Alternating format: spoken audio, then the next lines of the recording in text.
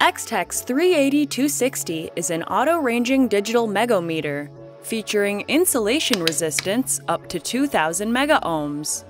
A choice of 250, 500, and 1000 volts DC test voltages are available. Additional features include the large backlit display, functions to measure low resistance, continuity, and AC-DC voltage, automatic discharging at the end of testing, power lock on, and data holding.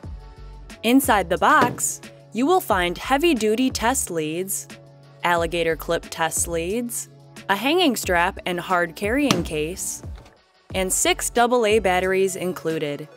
You can view our full selection of Extech products at galco.com.